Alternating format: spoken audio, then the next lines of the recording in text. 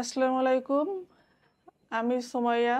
আমি চুয়াডাঙ্গা থেকে আসছি আজকে এগারো দিন।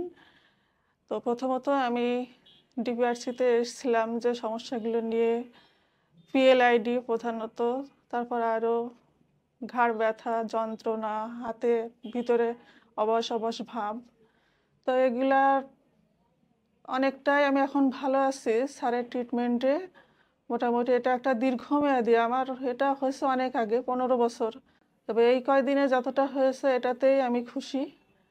আর তাছাড়া এই যে ডিপিআরসি পরিবার হফিউল্লাহ স্যার সহ তাদের ম্যানেজমেন্ট, থেরাপিস্ট, আরও নার্স এবং ক্লিনার যারা ছিলেন, সবার প্রতি আমার কৃতজ্ঞতা। তাদের ব্যবহার অত্যন্ত সুন্দর। কোনো রকম কোনো কষ্ট আমি এখানে অনুভবই করিনি। পরিবার ছেড়ে এসেছি।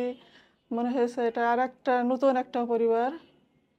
তো ভালো লেগেছে, অনেক ভালো লেগেছে। আমাকে স্যার তিরিশ দিনের থাকার কথা বলছিলেন, কিন্তু আমি অতটা পারছি না বিভিন্ন প্রতিবন্ধকতার কারণে। তো এই আর কি, যতটুকু থাকলাম, এতটুকুতে আমি মোটামুটি অনেকটাই সুস্থ ভাব- ভাবছি নিজেকে। জি আমার সামনে তো দেখছি অনেকেই আসছেন এসে অনেকটা সুস্থ হয়ে তারা মোটামুটি ভালো অনুভব করছেন। আমি অনেকের কাছে গিয়েছি তাতে ওরা কেমন আছে এটা জানার জন্য। তো তাতে সবাই আর কি মোটামুটি সন্তুষ্ট।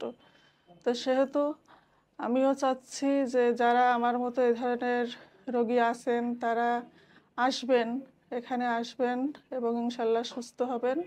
তো এটা আমার বিশ্বাস। আর তাছাড়া আমি চলে যাচ্ছি। সবাই আমার জন্য দোয়া করবেন।